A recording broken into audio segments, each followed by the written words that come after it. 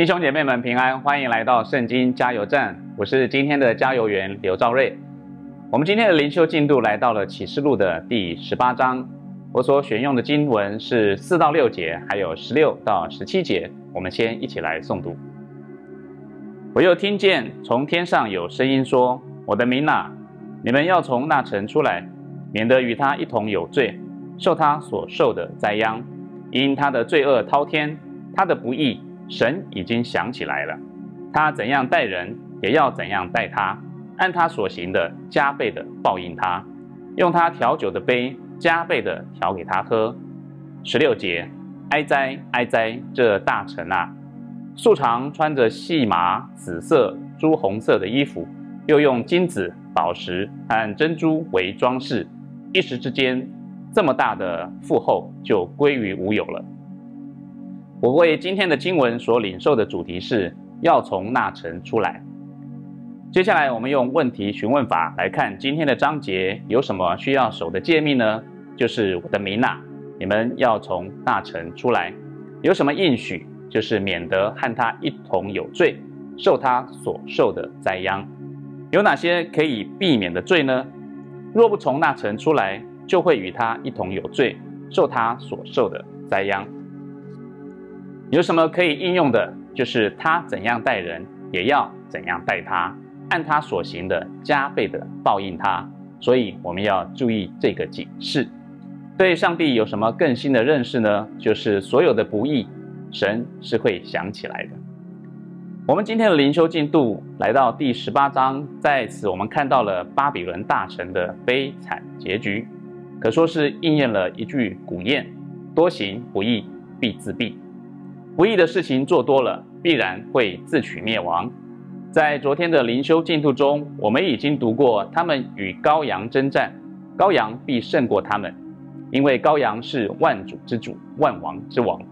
同着羔羊的，就是蒙召备选有忠心的，也必得胜。同着羔羊的，也必得胜，这是我们已经知道的了。所以相信大家都已经知道要选对边站。今天在第十八章的内容里，继续强调的是站在另一边的下场。在本章一开头，天使就宣告说：“巴比伦大臣倾倒了，倾倒了。”所谓的巴比伦大臣倾倒了，不管是实际上已经灭亡的巴比伦，还是乔美伦老师在导读本里面所说的，约翰隐喻的是罗马帝国。我认为这都是一种意象的表示。其实，不论是真正的城池，或是我们自己心中的坚固营垒，都算是某种程度的巴比伦大城。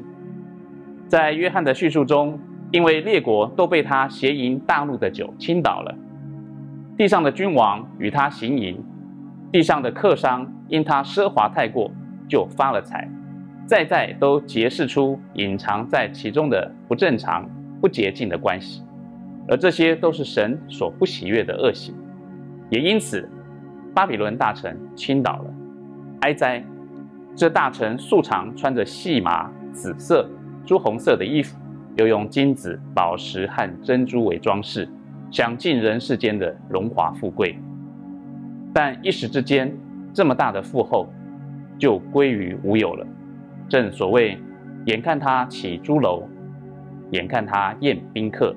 眼看他楼塌了，但好家在的是，神的恩典在此时此刻再次的彰显了，因为我们可以听见从天上有声音说：“我的民呐，你们要从那城出来，免得与他一同受罪，受他所受的灾殃。”彼得后书三章九节告诉我们，主所应许的尚未成就，有人以为他是单言，其实不是单言，乃是宽容你们。不愿有一人沉沦，乃愿人人都悔改。感谢赞美主。昨天听过圣经加油站，而还没有选对边的朋友，可要快赶快加紧脚步，从自己的巴比伦大城走出来。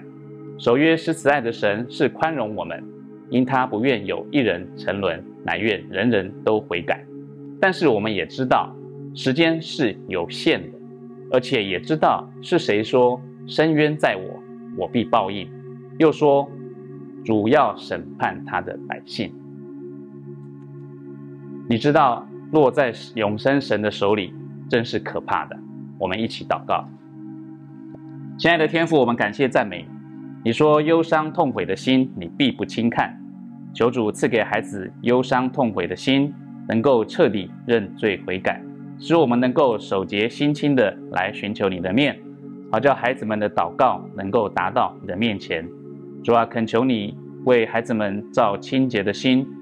使我们里面重新有正直的灵，让我们没有任何一人沉沦，在更多的警醒和祷告中迎接主再来的日子。感谢赞美主，奉耶稣基督的名祷告，阿门。